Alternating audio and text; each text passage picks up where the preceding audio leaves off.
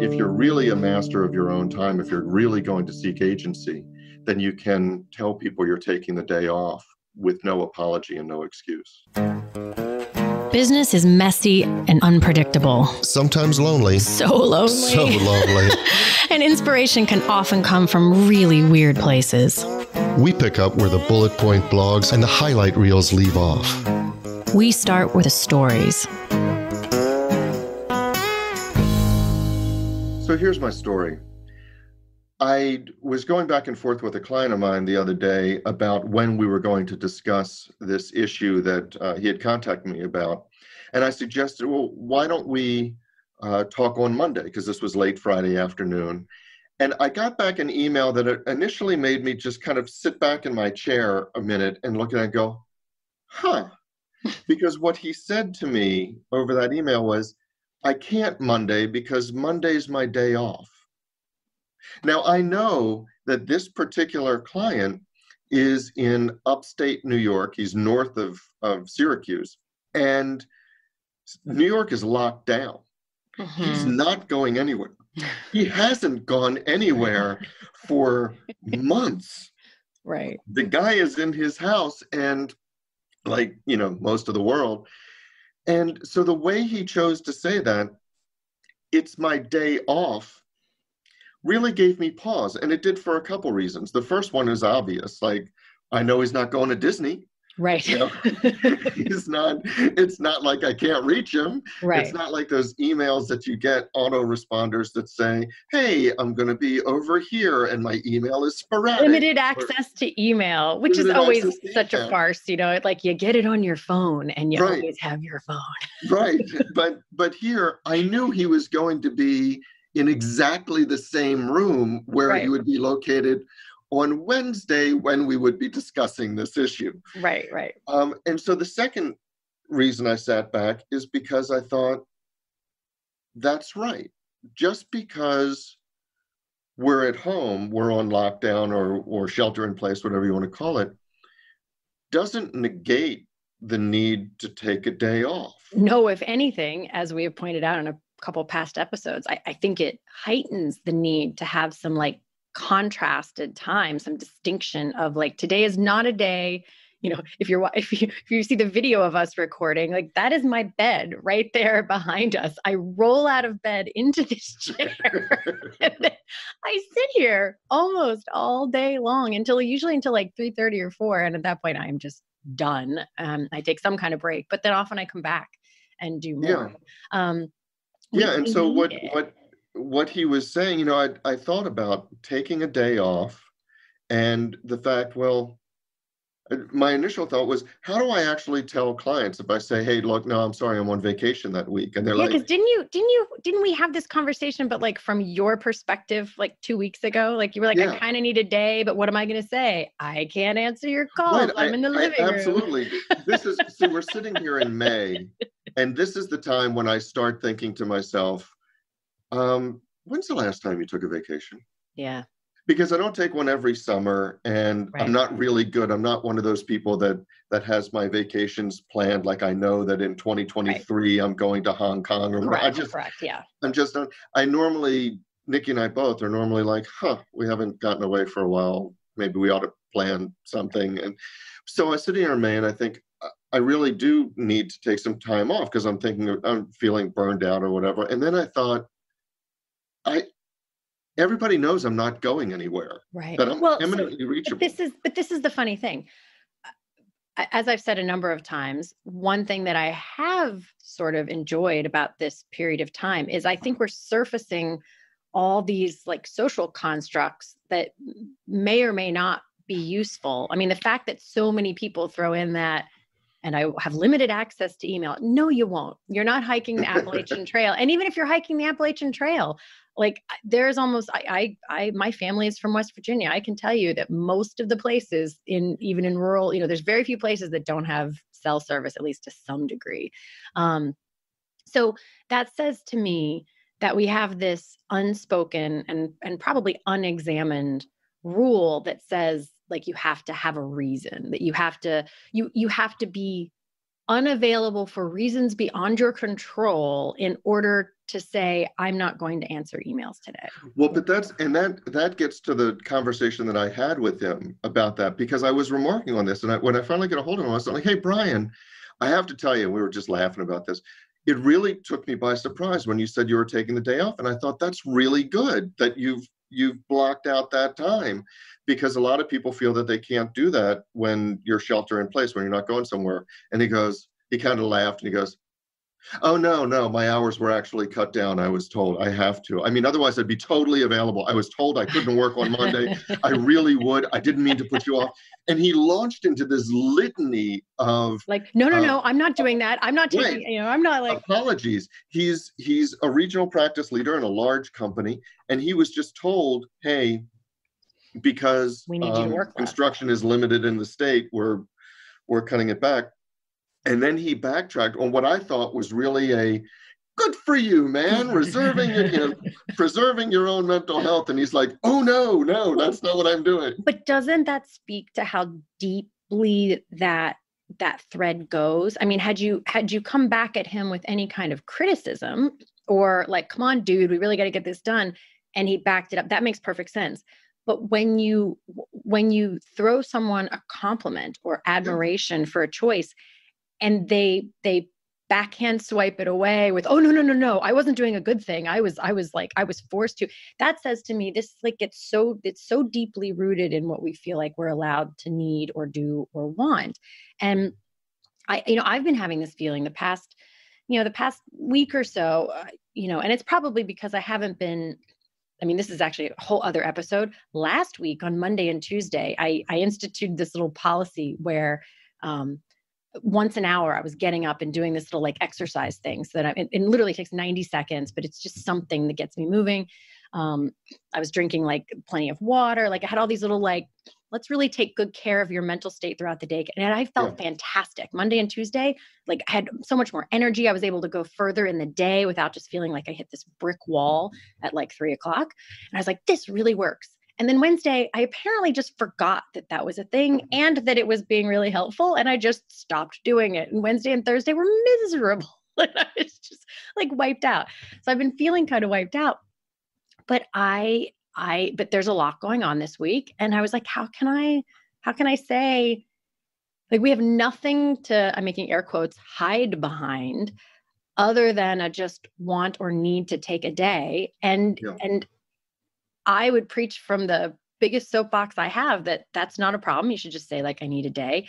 And yet here I am feeling like I can't say, there's a lot going on this week. I can't say, sorry, I can't be there for that. I just Right. need to walk But if- into the other room and not if talk you to had- you. If you had plane tickets and the wheels were leaving the tarmac, Yes. then then okay. But by the way, before we leave that uh, point that you just made, I'm wondering if, as a service to our readers, you can actually post your 90 second exercise routine in uh, in the Facebook group.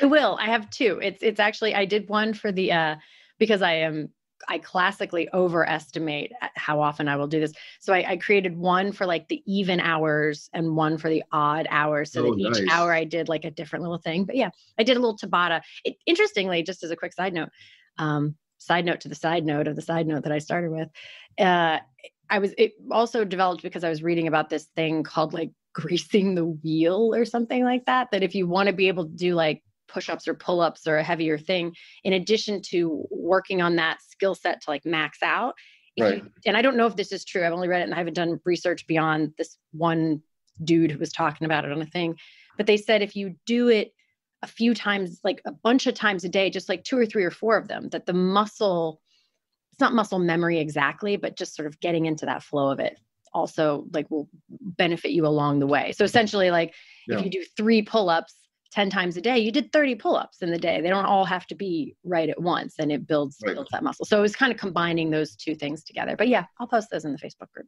Okay. All now right. what were we talking about? Well, we were talking about what the terminology that you see i need a break. When i wander off like this it means i need a break. The- but the terminology you use is, or you used was if I didn't have something to hide behind. right and i'm Right. almost embarrassed to say that like i because i know i don't need to hide like that I, I shouldn't feel like I have to have something to hide behind. No, you're a grown person. You have your own agency. You're allowed. You're not the to boss say- of me. You're not the boss of me. You're allowed to say, hey, you know what? I'm not doing that today. Today's not that day. And yet it's it's the same reason that I own the company. And if I come in later than anybody else, I feel the need to say, oh, well, you know, I I had this call beforehand, Right. you know, and I was doing this, and then I have to, and you know, I was at the office. I have this need to Oh, to yeah. explain, and they're like, dude, you your your name is on the door. I, whatever. Yes, yes, and, and, and I actually have a really interesting story about that that I'll tell in one second. Um, but this it, it this is re- this experience, especially for me, I feel like is is just fascinatingly indicative of how deep this weird rule we have runs because I'm a huge proponent of playing hooky in a strategic way. I think we even did an episode on it way, way, way back when. You did. Um, there are days where I just I can tell that I could put full energy in, and I'm gonna get one third to maybe one half output on the other side of it because I'm just not running like my the print heads of my my head need cleaned, you know. Yeah. and um, so I'll take the day and go. That's how I ended up buying my guitar one day. I was like, I need a day, and I just went and hung out at the guitar store and try. And I came back the next day raring to go therefore i thought i was someone who feels very confident just taking my time well what i'm realizing now is yes i give myself permission to do that but when i do that no one else knows that i'm deciding you know i have space in my day i just decide to use it in a particular way that's between me and me. And for me to take a day now i have to say to somebody else i'm taking a day and and therefore apparently i'm not so bold about it. That is at the crux of this issue and why it fascinates me. So years and years and years and years ago, I was working with a guy, um, and we were doing like time strategy. That's how far back this was when I was doing a lot more not time management, productivity stuff, but strategically, how are you using your time as an owner? What's important, what's not?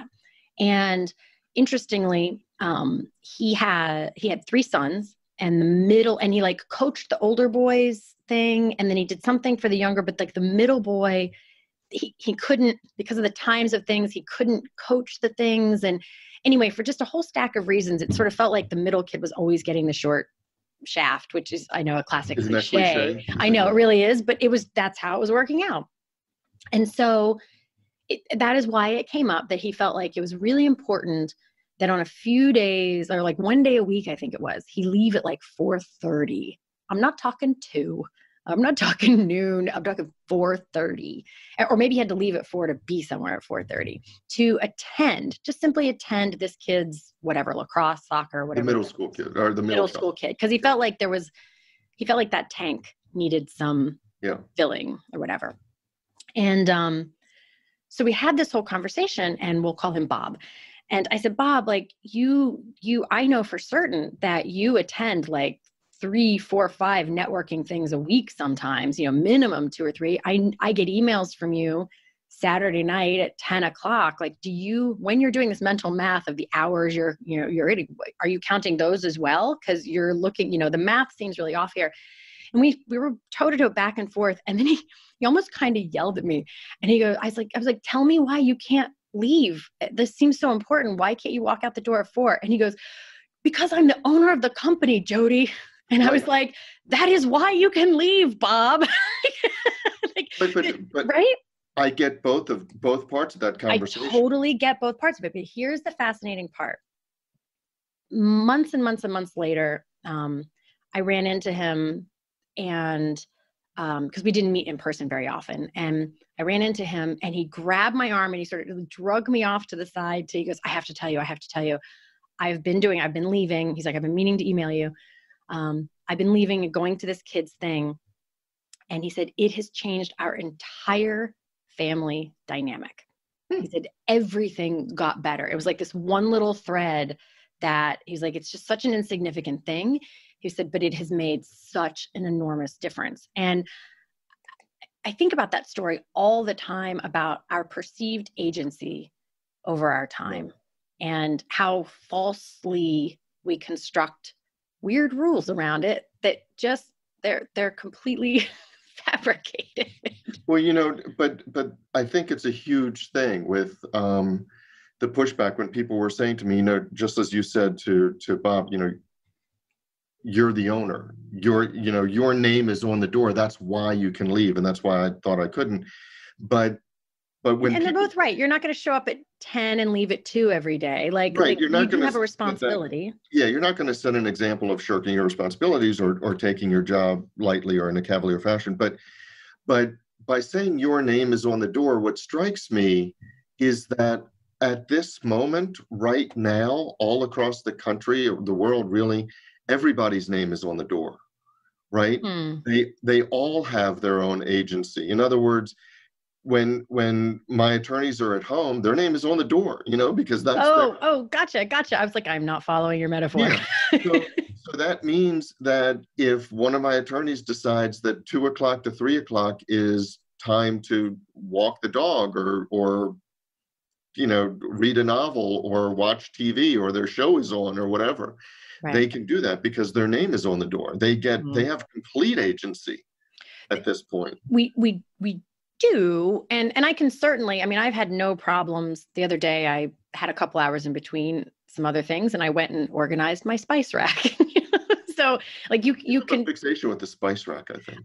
But it's come up a couple times because it it's has a come up a couple slightly times yes. longer term project but um it's so satisfying though because the spices drive me crazy. It's it's i'm no martha stewart. I don't have to have everything like you know pristinely pinterest instagrammy organized but there are certain things that drive me bonkers when i'm in the middle of something you know our spices are kind of low in this drawer thing and so you're looking down at the top of them so you have to like lift it up look lift it up look and then you lose track of which ones you've looked and you know it's in there and you can't find it and um so it drives me bonkers so i did i did organize it and i'm now so you actually coach a lot of business owners on how to prioritize the things that matter right and it's the It- spice rack that's driving you nuts. So so okay so let's go there. It but that's but you but you missed the point that that, that matters. It that matters. Now is everything else in my kitchen like exactly organized and put where heck no. But that one it- like this redundant thing it mattered because it would irritate me like it would be frustrating that i couldn't find what i needed. And you know so i i would argue that it did matter because Well, but but actually that's that is the larger point because it's not I can I can laugh at you because I reserve the right to mock you for virtually anything. However, in all seriousness, it's not the larger point is it's not my right to tell you what matters to you. It's just like if you're upset about something, it's it the, the exact wrong thing for me to say is, well, that's no big deal because it obviously is to you, right? And you have the right to determine what's a big deal to you. Um, right but at the same time, I do. I no do- it, no it's funny and and i don't um i don't it, it is funny like when, when i was doing that that work I, it was fascinating to me to find out what people assigned value to with their time. And i, I there was a, a woman who i was talking to who i was trying to get her to outsource some of her stuff because she was a mom and ran a business. And i re, you know to me that some of the domestic stuff is the easiest stuff to outsource. You can get somebody to come in and clean or do some laundry or whatever. Like that's a that's an easy win in my perspective. And she was holding really tightly to that. And a lot of times when people are holding tightly to something that isn't the highest and best use of their time it's because of a should like well i should do that or i should and that's what i was really mining for but it was it looks fascinating the outside hmm? world and all the rest of it. yeah yeah yeah. Well i mean you know i'm supposed to blah blah blah but but like and, but you can tell when they talk about it it, it comes they like well blah, blah, blah, you know they use like an eeyore voice to talk about it and that says to me like this is we can find a better way to get around this. She did not use that voice when she was talking about some particularly just mind numbing housework that i was like oh my god but she actually sounded sort of lit up so i asked her about it and she said i know it sounds silly but like these these like three things to me feel like they're showing like love and care like it feels to me like i am caring for the, the kid Right. she was talking about like ironing sheets which Well, but- i just like i i can't get behind ironing sheets like that feels to me like the most made up annoying thing. But to her, like creating that space where you could slide into bed on freshly ironed sheets was an experience that she wanted to create for people. And I can understand that. Like I Actually, can I, I yeah. do have to go on, on one little aside that I never thought I would discuss um, with anybody because there was no need for it. But yeah, my here we are. my yet here we are. So um, well before we got married, Nikki had a conversation with my mother, and my mother explained was just not telling her what she should do, but just was telling her that, yeah, well, I ironed the sheets and I ironed um, everybody's underwear and No. that. You grew Yeah, up in an ironed underwear I house? did. Oh wow. And I remember very clearly Nikki looking at her going, Yeah, I'm not doing that. I, I was I was trying hard not to just start bursting out laughing when you said my mom was telling Nikki like what she should and I was like, oh, oh, I would pay cold hard Yeah. cash to watch that conversation but go you down. fairness, and, and I've talked about my mom. My mom uh, was a professional. She's retired now, but she was a, a professor and then a, an attorney. And she wasn't giving a speech to Nikki about, oh, to keep a good home and to keep your husband happy and to be a good wife, you have to. She wasn't doing this. She was really just talking kind of about what she would do and why she would do this and, and all that stuff. And she said, well, I got up early because I wanted to iron the sheets. And, and Nikki was like, wait, hard stop. You Yeah. iron? Yes, I ironed the sheets. I ironed the underwear. I ironed all that stuff. And Nikki was just laughing, saying, "Hey, I'm not doing that." So it's Yeah. been a, a, a joke every once in a while. I'll ask Nikki if she, now that she has a little bit of time, if she could iron some sheets. That would be great. And, and your underwear. Like, yeah, I feel like your underwear needs that to would be, be great. Oh my gosh. Mm-hmm. So so we should just call this episode random tangents. 42 random things that don't tie together, but they do all come back to like agency over your time and effort and whatnot. And this one, I actually, as it was happening, I was like, this is kind of like a leadership metaphor. Maybe we should do a, an episode on it. It does kind of tie in. So we, I, I'm mostly, we, we've divvied up laundry. My, my kids are 13 and 17, so they do their own laundry. And so for most part, this is like off, but, but we've been kind of throwing it all together and there's been loads that have everybody's stuff in it and then sometimes everyone's doing their own laundry and whatever. I i get i hate like un uh, like turning things right side out and a lot of people like take stuff off and throw it in the hamper wrong side out. They and so i'm like can't you put you like un you know do your jeans the other way or undo your shirt? And then it occurred to me as i was taking a bunch of stuff out of the dryer wrong side out that i just i just folded it up and put it in their basket like that. And then they're the ones who turned it wrong side out. They can turn it right side out to put it back on again that it's not the assumption that it is my job to right side it before i you know i'm not displaying it in a gap store. Like it's their shirt. They didn't turn it the other way. It has now been washed. I stuck it in their box for them. They can you know transferring that back to them just i say solve that problem but maybe to them it's not a problem so Yeah, and and I like the the idea of just bringing it back, you know, to transfer something over to somebody else. And in a larger sense, what this reminds me is I had like most of most employers, I had set the time. So I had set, you know, basically nine to five or or whatever. And they had to, the employees, I took that on to set the time, and the employees had to abide by that to a larger extent. And then I started to realize, no, I could transfer that responsibility to them. However, they wanted to manage their day. If it wasn't a big deal for them to come in at, at 10, but they needed to stay till seven in order to finish their work, as long as the customer, the customers or clients are served, that was fine. So I started trans putting more things in my employees' basket mhm, and and this this shelter in place this remote work environment for us has really started to make me think what else how else can the ba- the things in the baskets be divvied up you know mhm. and that includes who's available when um, people don't have to really turn in a form at hr to say at two to four i'm playing with my dog right or, or whatever, right? they're they're just at home, and um, I also don't think that because I've made it possible for people to be quote in the office twenty four seven because their office is down the hall and we have all the remote technology.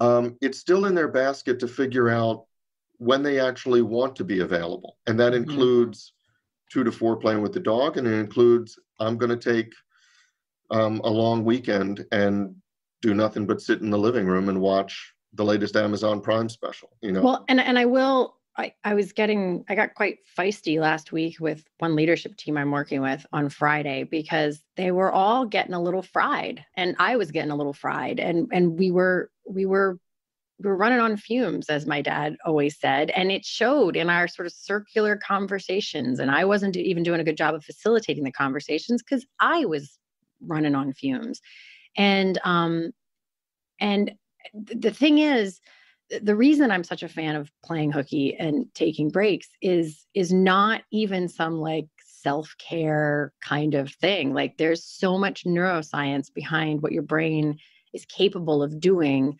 And the reason that i put in those hourly breaks is your is is partly from the neuroscience standpoint that your brain needs these little punctuation marks in between things. It needs that contrast. It, it's it's made for sprints, not marathons. It's not meant to just plow all day long every day without breaks. And and and as I said to them, I said, oh, you know, I'll be blunt. You are less valuable to the company when you are exhausted. It, it's that simple. You are you are not as valuable if you are run into the ground. And so we really need people to take breaks and to take a day off. Um, I, I still think it would feel really weird right now to say like I'm on vacation all of next week. right. it's, I'll be in the backyard. Um, but, but I'd love to hear the stories of people who decided to say that. I do no, I want to I want to hear about and I think it's a little bit easier for some people. You know, what I have heard happen because I'm seeing very few people take days off.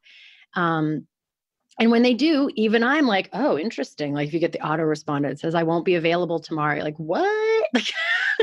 yeah. Um, but you know, what I have seen a little bit of is um, you know, people who already had like if you if they were already they were booked to go on a vacation next week and that vacationing that vacation's not happening. And I have seen a few people say, you know, I'm still going to take the week off. And and that that no one is bad at this is what this is what's fascinating about our goofy brain. No one's bad at an eyelash at that. You're like, oh, you know, you already had it planned. Right. The actual activity fell through, but you'd already like staked your claim on that time. So yeah, yeah, yeah, you go take that time. Whereas if I just said, you know what, next week I'm gonna be out all week, I honestly feel like I'm a big one on don't assume that other people would feel that way. But based on the way I'm even and you reacted, even though we both are on the other side of it too, I think I might be like, oh really? You're just gonna I know you're right there. Like, but but I admire that because uh, you know it goes back to the old expression. I guess we'll we can uh, we have to wrap this up, but it goes back to the old expression that the only person who is truly free is someone who can turn down a dinner invitation without excuse. Mm, you know, yeah. and I think about that. The only you know if you're really a master of your own time, if you're really going to seek agency, then you can tell people you're taking the day off with no apology and no excuse. So that's our story. But the discussion doesn't have to end here. No, it does not. In fact, we don't want it to. No, we don't. that is why we actually have our private Facebook group, which we started to make sure that we could get your comments, your rants, your thoughts, your stories. Your stories. You can find links to that group as well as show notes and links to subscribe via email and how to find us just about anywhere you can possibly find podcasts at sohere'smystory.com. And you can also find us on Facebook and Twitter at SHMS Podcast. And since we know it takes a village. Yes, it does.